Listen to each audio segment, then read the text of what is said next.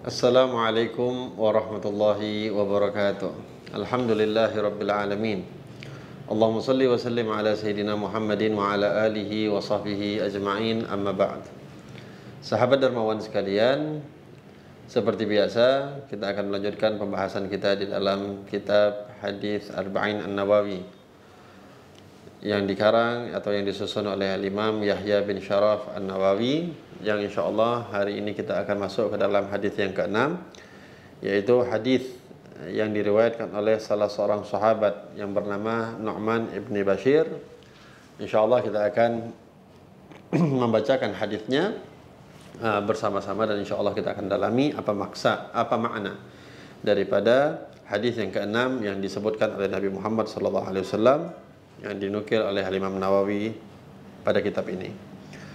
بسم الله الرحمن الرحيم الحديث السادس عن أبي عبد الله النعمان بن بشير رضي الله تعالى عنهما قال سمعت رسول الله صلى الله عليه وسلم يقول إن الحلال بين وإن الحرام بين وبينهما مشتبهات لا يعلمهن كثير من الناس فمن اتقى الشبهات فقد استبرأ لدينه وإرضه ومن وقع في الشبهات وقع في الحرام Karai yar'a hawla al-hima yushaku an yarta'a fih. Ala wa inna likulli malikin hima, ala wa inna himallahi maharimuh, ala wa inna fi ala wa inna fil jasadi murghatan. Idza salahat salahal jasadu kulluh wa idza fasadat fasadal jasadu kulluh ala wa hiyal qalb rawahul Bukhari wa Muslim. Hadis yang keenam yang disebutkan atau yang dikutip oleh Imam Nawawi di dalam kitabnya adalah peringatan daripada Nabi Muhammad sallallahu alaihi wasallam untuk senantiasa kita memiliki sifat wara. Ya, sifat wara adalah sifat untuk kita lebih memiliki kehati-hatian khususnya atas apa yang kita makan, atas apa yang kita minum, atas apa yang kita pakai dan segala macamnya. Nabi SAW di dalam hadis ini mengatakan innal halal bayin. Sesungguhnya yang halal itu jelas. Ya. Sudah diberitahu oleh Allah Subhanahu wa taala apa-apa saja perkara dalam agama ini yang halal, ya, yang boleh untuk dimakan, boleh untuk diminum, boleh untuk dipakai, boleh untuk dilakukan. Lalu Nabi juga mengatakan wa innal harama bayin. Yang haram juga jelas apa-apa yang tidak dibolehkan, apa-apa yang dilarang dalam syariat kita juga sudah dijelaskan oleh Allah, sudah dijelaskan oleh Nabi kita Nabi Muhammad sallallahu alaihi wasallam. Semisal membunuh tanpa sebab itu adalah haram, berzina haram, mencuri barangnya orang tanpa hak haram dan segala macamnya. Begitu juga ya semisal Nah, makanan yang halal, makanan yang haram itu sudah dijelaskan oleh Nabi Muhammad. Apa yang haram yang boleh yang tidak boleh dimakan, apa yang halal yang boleh dimakan itu sudah dijelaskan. Namun kata Rasulullah sallallahu alaihi wasallam wa bainahuma mushtabihatun la ya'lamuhunna katsirun minan nas. Ada beberapa perkara-perkara yang posisinya berada di antara yang halal dan haram. Yang mana tidak banyak orang yang mengetahui akan status hukum daripada perkara-perkara ini. Ya. Bukan artinya hukumnya tidak ketahui, diketahui akan tetapi banyak kata Nabi SAW perkara-perkara yang mustabih atau yang lebih dikenal dengan syubhat ya yang tidak banyak manusia mengetahui apakah perkara ini dibolehkan atau di, diharamkan. Makanya kata Nabi SAW, wabainahuma dan di antara yang halal dan haram tersebut mustabihatun. Ada perkara-perkara yang mustabih atau syubhat, ya, yang samar. La ya'lamuhunna katsirun minan nas. Yang mana tidak banyak orang mengetahui ya untuk bisa mengambil sikap daripada yang belum tahu ini antara halal dan haramnya. Faman ittaqa syubhat faqad istabra'a lidini kata Nabi. Barang siapa yang menjaga dirinya daripada segala perkara yang syubhat, faqad istabra'a lidini, maka orang tersebut sudah uh, memurnikan, menjaga ya agamanya wa irdih dan kehormatannya. Wa man waqa'a fi syubhat waqa'a fil haram. Akan tetapi orang yang ya, senantiasa masuk jatuh ke dalam perkara-perkara yang syubhat maka mau tidak mau suatu saat dia akan jatuh kepada perkara-perkara yang haram. Karra'i yar'a haulal hima yushaku ayyarta'a fih. Dicontohkan oleh Nabi Muhammad SAW sebagaimana seorang pengembala kambing yang memiliki kambing-kambing yang sedang dia gembala dia bawa itu kambing ya berdekatan dengan pagarnya orang lain ya tidak dijauhkan daripada pagarnya orang maka mau tidak mau cepat atau lambat kambing-kambing tersebut akan otomatis masuk ke dalam perkarangan atau kebunnya milik orang lain. Ala wa inna likulli malikin hima kata Nabi. Sesungguhnya ya setiap kerajaan itu mempunyai batasan. Ala wa inna himallahi maharimuh. Dan ketahuilah kata Nabi Muhammad bahwasanya uh, batasan yang Allah berikan adalah maharimuh. Ya segala sesuatu yang diharamkan oleh Allah Subhanahu wa taala. Ala wa inna fil jasadi murghatan. Idza salahat salahal jasadu kullu lalu Nabi wasallam mengingatkan kepada kita tentang bagaimana ketahuilah kata Rasulullah di dalam tubuh kita ada satu mudghah segumpal daging. Idza salahat kalau segumpal daging ini baik bagus salahal jasadu kullu maka akan bagus seluruh tubuhnya. Wa idza fasadat fasadal jasadu kullu. Tapi kalau segumpal daging ini busuk segumpal daging ini buruk maka akan seburuklah seluruh jasadnya. Apa segumpal daging tersebut? Kata Nabi ala wahyal qalb. Segumpal daging itu adalah hati yang sangat memiliki uh, efek ya, akan baik atau buruknya jasad seseorang. Di sini Nabi Shallallahu Alaihi Wasallam mengingatkan kepada kita untuk kita lebih berhati-hati, bukan daripada hanya sekedar berhati-hati daripada perkara yang haram. Kalau berhati-hati daripada perkara yang haram itu memang wajib, sesuatu yang harus kita lakukan. Bukan artinya itu berhati-hati, memang harus kita tinggalkan. Perkara yang haram yang telah jelas di dalam syariat kita, bukan untuk kita berhati-hati tidak jatuh ke dalamnya. Memang harus kita menjauhkan diri kita daripada hal-hal yang haram tersebut. Tapi yang diinginkan oleh Nabi Muhammad SAW untuk kita lebih berhati-hati daripada perkara yang kita nggak tahu status hukumnya.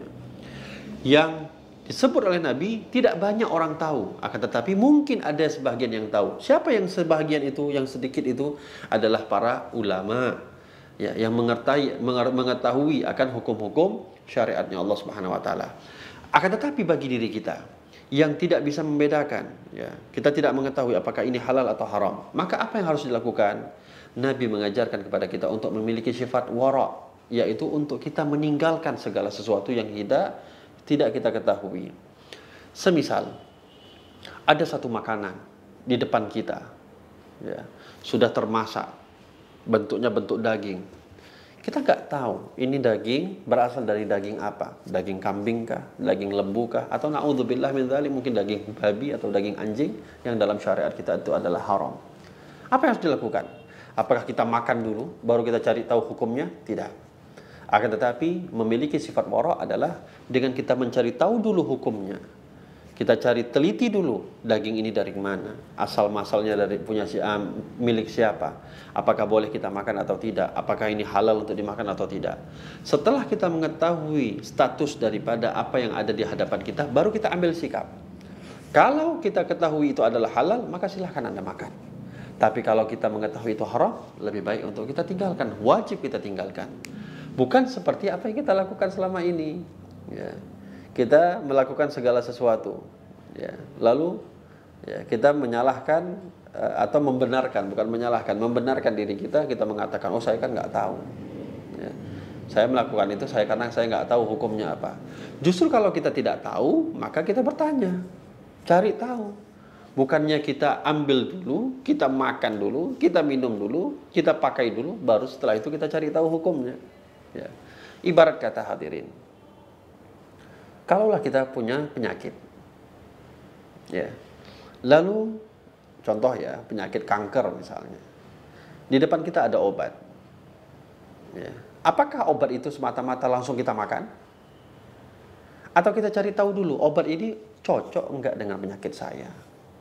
Atau obat ini memang boleh enggak saya makan? Atau dosisnya cukup atau tidak? Atau mungkin berlebihan atau tidak? Otomatis kita tidak langsung memakan sembarangan. Pasti kita cari tahu dulu baik dengan dokter atau dengan orang-orang yang memahami tentang perobatan. Setelah dikatakan oleh mereka ini adalah obat yang cocok untuk kamu, kita makan. Tapi kalau dikatakan oleh mereka ini bukan obat dari penyakit kamu, jangan kamu makan, nanti penyakit kamu tambah parah, maka kita tinggalkan. Lah, kalau urusan-urusan yang mohon maaf, ya ketika kita memakan obat yang salah, ujung-ujungnya hanya kematian.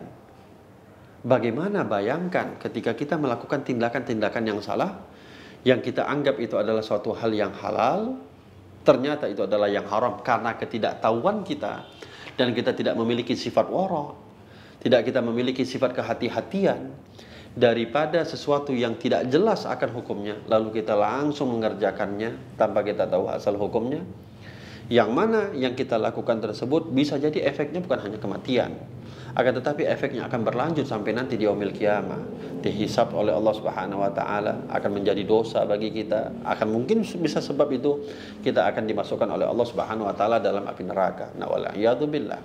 Oleh sebab itu Nabi mengingatkan famanit taqasyubahat faqad istabra'a dinihi wa orang yang senantiasa menjaga dirinya daripada segala sesuatu yang syubhat ya bukan artinya syubhat ini kita ambil tinggalkan Itulah namanya wara. Tinggalkan. Maka kata Nabi, faqad istabra'a dini wa irdi. Maka hakikatnya dia telah menyucikan, memurnikan agama dan kehormatannya. Wa man waqa'a fi syubhat waqa'a fil haram. Tapi orang yang kalau dia nggak peduli mau makan, mau syubhat, mau apa, asal aja apa yang ada di depan maka depan matanya dia makan, apa yang ada di depannya dia pakai tanpa dia mau tahu asal hukumnya, ya, berasal dari mana. Maka cepat atau lambat kata Nabi Muhammad dia akan jatuh kepada sesuatu yang haram. Billah. Sebagaimana tadi yang kita jelaskan Nabi memberikan contoh seorang pengembala yang mengembala kambing dekat dengan kebunnya orang. Ya. Apakah mungkin ya, kalau dia mengembala kambing dekat kebunnya orang akan dia jaga kambingnya itu pasti nggak akan masuk ke kebunnya orang tanpa izin nggak mungkin lah bagaimana caranya bawa kambing kita jauh Jauhkan daripada kebunnya orang supaya kita lebih aman. Supaya kambing kita tidak menjadi masalah bagi orang lain dan juga bagi kita. Begitulah ibaratkan, diibaratkan Nabi Muhammad SAW untuk kita menjaga daripada perkara yang syubhat. Yang ini, ya, kata Nabi SAW, ala wa inna likulli malikin hima.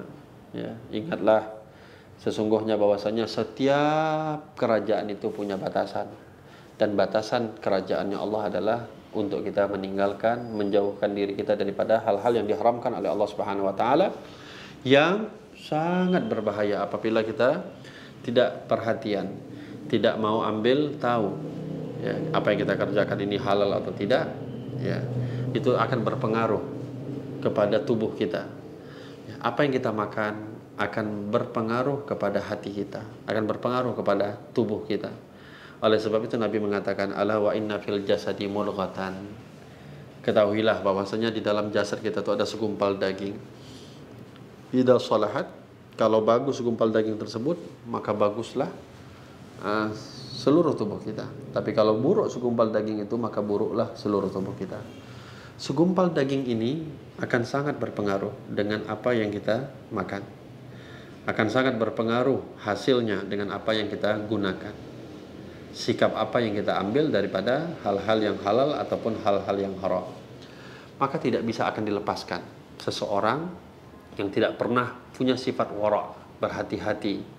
Ya, ini nggak peduli mau halal atau haram. Kalau yang dilakukan itu adalah hal yang haram, maka akan mengotori hatinya. Kalau hati sudah ya, uh, masuk hal-hal yang haram, ya, maka tidak akan bisa tubuh tersebut untuk digunakan untuk taat kepada Allah Subhanahu wa taala.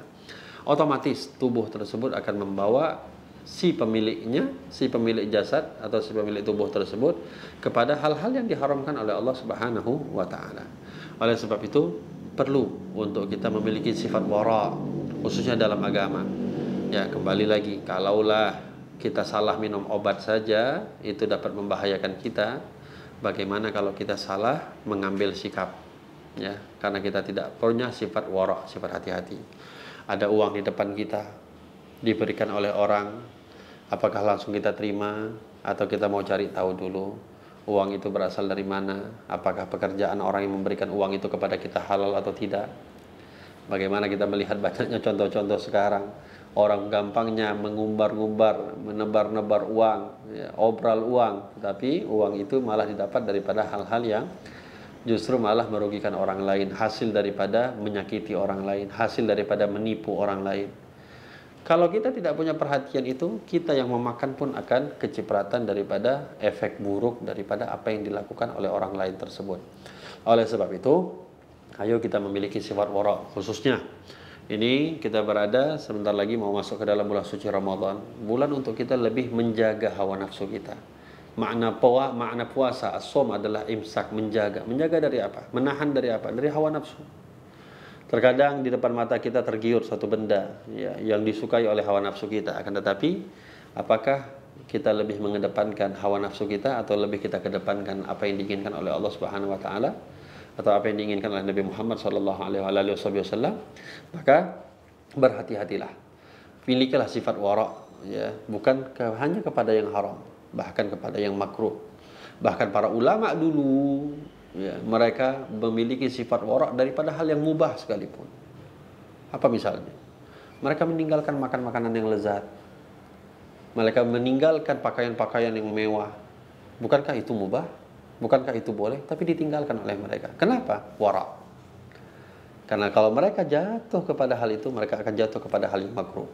Jatuh mereka kepada hal yang makruh, suatu saat mereka akan melakukan hal yang diharamkan oleh Allah Subhanahu wa taala, maka mudah-mudahan insyaallah Allah Subhanahu wa taala memberikan kepada kita karunia.